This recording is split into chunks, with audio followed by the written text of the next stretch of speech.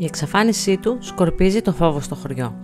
Η εξαφάνιση του Αστέρι σκορπίζει το φόβο στο χωριό για τα χειρότερα που έρχονται. Ενώ η Καλλιόπη απειλεί θεούς και δαίμονες και ο Μαθιός έχει τύψεις που άφησε μόνο του τον αδερφό του. Η Αργυρό δέχεται ένα τηλεφώνημα από τον Παύλο και αποφασίζει να μείνει κοντά στο Πετρί.